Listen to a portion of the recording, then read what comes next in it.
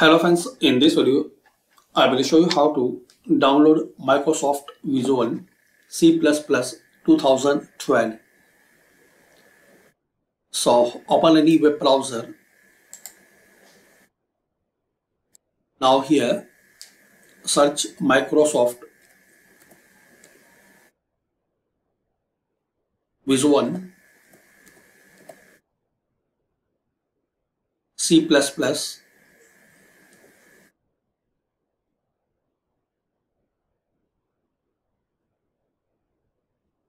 two thousand twelve.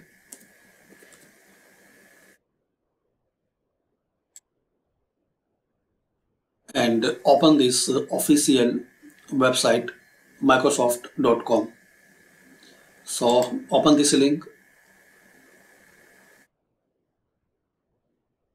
Now here click on this uh, download button. Now guys if you are using 64 bit so select this file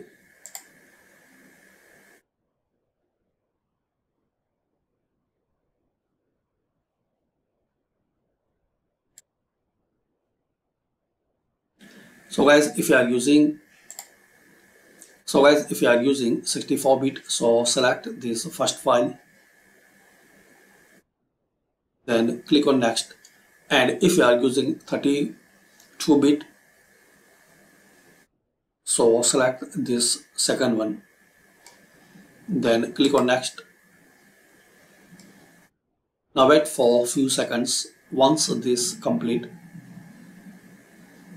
downloading process.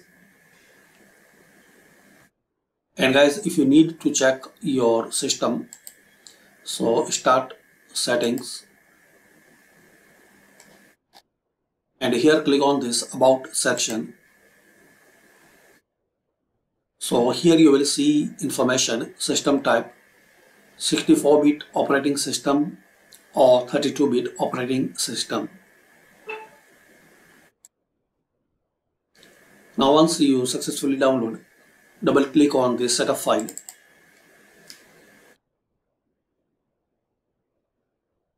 Now here check this box, then install.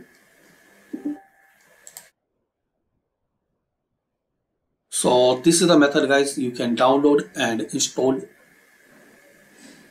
Microsoft Visual C++ 2012 in your Windows 11. Thanks for watching, share, like and subscribe this channel.